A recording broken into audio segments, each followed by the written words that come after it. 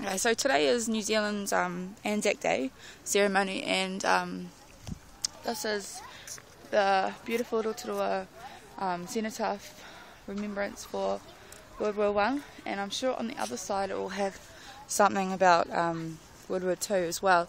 Now, being a history major, this kind of stuff's really important to me, um, mainly because you know it's quite a big deal.